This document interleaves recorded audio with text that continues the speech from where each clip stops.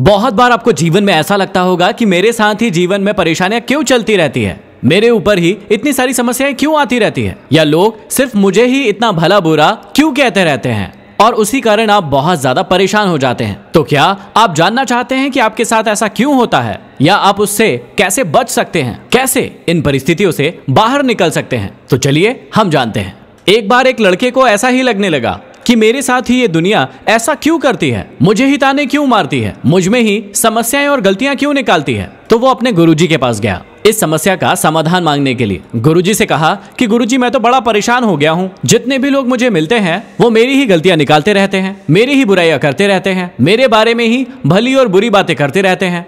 तो वो लड़का बहुत ज़्यादा परेशान था और गुरुजी से समाधान मांगने लगा। गुरुजी मुस्कुराए और कहा कि इधर आओ और मेरे पास बैठो। वो लड़का उनके पास बैठा और गुरुजी ने उसे एक ग्लास पानी दिया और साथ ही साथ एक मुट्ठी नमक भी दे दिया और कहा कि इस नमक को इस ग्लास में डाल दो। उस लड़के ने ऐसा ही किया। एक मुट्ठी नमक लिया और पूरा का पूरा उस ग्लास में डाल दिया।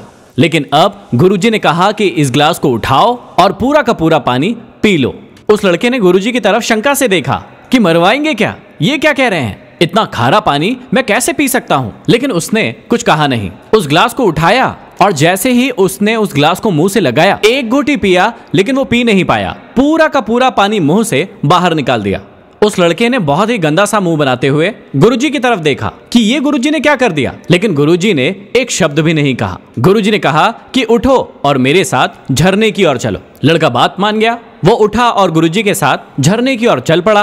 वो दोनों झरने के पास पहुँच गए। अब गुरुजी ने फिर से उस लड़के को एक मुट्ठी में नमक दिया और कहा कि इस नमक को झरने में डाल दो। उस लड़के ने एक मुट्ठी नमक लिया और झरने में डाल दिया। गुरुजी ने कहा कि अब तुम इसका पानी पियो। उस लड़के ने उस झरने का पानी पिया और गुरुजी ने पूछा कि अब मुझे बताओ कि दोनों पानी में क्या अंतर था। लड़के ने कहा कि आश्रम में जो पानी आपने मुझे पिलाया था, वो बहुत ज़्यादा कड़वा था। लेकिन यहाँ पर जो मैंने पानी पिया, वो बहुत ही ज़्यादा मीठा था। गुरुजी ने समझाया कि बस यही बात तुम्हें अपने जीवन में समझनी होगी कि नमक एक मुट्ठी ही है। अब ये तुम्हारे ऊपर डिपेंड करता है। कि तुम उसे ग्लास में डालना चाहते हो, या फिर झरने में तुम अपने आप को एक ग्लास पानी बनाना चाहते हो, या फिर एक झरना बनाना चाहते हो। तुम अपनी सोच को एक ग्लास में लिमिट करना चाहते हो, या फिर एक झरने की तरह विशाल बनाना चाहते हो। लड़का इस बात को पूरी तरीके से समझ चुका था। क्या आपको समझ में आया?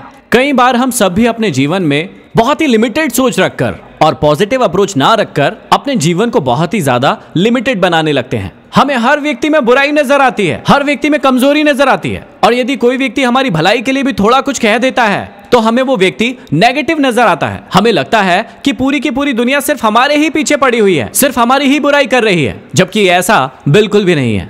आपको अपने आप को बहुत ही अच्छे से समझना होगा कि आप सही में है क्या, आपको जाना कहाँ है, आपको करना क्या है। अब कोई भी व्यक्ति, चाहे आपकी अच्छाई बताए या बुराई बताए, इससे आपको कोई फ़र्क नहीं पड़ेगा। क्योंकि आपको पता है कि आप कैसे इंसान हैं। यदि आप एक गलत इंसान हैं, यदि आप गलतियाँ करते हैं तो आपको उन गलतियों को सुधारना चाहिए। यदि कोई व्यक्ति आपकी, वो गलती आपको बताता है तो आपको बिल्कुल भी पीछे नहीं हटना चाहिए। खुले दिल से उन गलतियों को स्वीकार करना चाहिए। लेकिन वे वजह यदि कोई व्यक्ति आपकी गलतियाँ निकाल रहा है, आपको बुरा कह रहा है, या फिर आपको ताने मार रहा है तो आपको इससे कोई फ़र्क भी नहीं पड़ना चाहिए। क्योंकि आपको पता है कि आप कैसे इंसान हैं।